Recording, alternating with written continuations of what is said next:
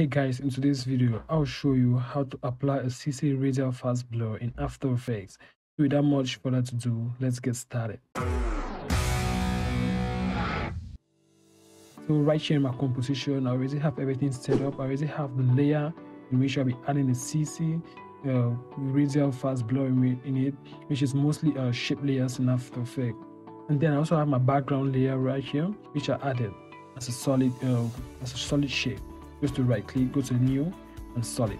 After doing that, the first thing is that I'll be adding a CC Radial Fast Blur. And to do that, I'll select this layer right here, go to effects, and then under the effects, you have the blur and sharpen. With the blur and sharpen, you can just come down here and you'll see the Radial Fast Blur. You click on it, you just add it. So you see, as you click on it, it gives it the default value and the default value right here is 50 but I'll be changing this amount to something around 85 so one thing you've noticed is that you now see this main part here is also blurred out, which we don't want that. We want this to be in focus and sharpened out. To do that, you just have to come to this zoom right here and change the value to brightest. After doing that, you can now see that everything is now sharpened out and it's now in focus. Uh, so after applying this effect, to make it more interesting, you can add in more color to it. And to add more color, I'll be using the gradient fill.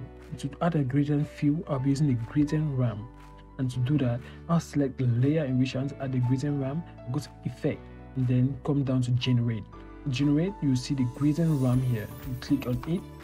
And for this you see that it has two values which is the start and the end color. So for the start color it always the default is always black and the end is always white. So i'm just going to select the start color right here and assign something green to it. You just say right here and you hit ok. The next will be the end. We apply something yellow, not too yellow and not too green, something in between, somewhere around here. Yeah, this is just fine. And you can see I can adjust these handles right here.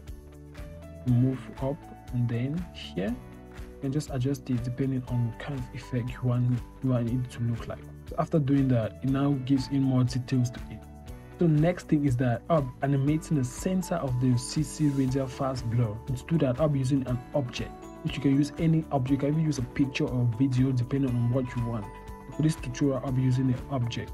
The object i'll be using is circle right here which i'll just select. The color is already set to white and i'll draw at the center of my composition holding control and shift. To have a perfect shape. Then i hold control and double click on the pan behind tool to put the anchor point at the center and center this up. I'm just going to drag this down beneath the shape layer right here. I'm just going to label it circle so with this, I'm just going to press P for the position tool, hold Alt and click on this stopwatch icon here to open the expression window. And I'm going to type in wiggle. So for the wiggle, I'm going to set in a value of 1, 500 which is the frequency and the amplitude perspective. So the wiggle effect just makes the position of this circle to move randomly around the composition, which will be very fine because the next thing is that I'll pick whip the center of that CC radial fast blur to the position of this circle. So when the circle moves, the center of this, um, which is center right here, also moves. So to do that, I'm going to come down here to effects and then CC radial fast blur. And then for this center right here, I'm just going to pick whip this to the position. So the blur also moves as the circle moves that's it for today's video guys. Hope you learned something new today relating to motion graphics. Please do support the channel by liking the video and subscribing to the channel so that it encourages me to drop out new uh, tutorials just like this every week. Thanks for watching the video. See you in the next one and peace out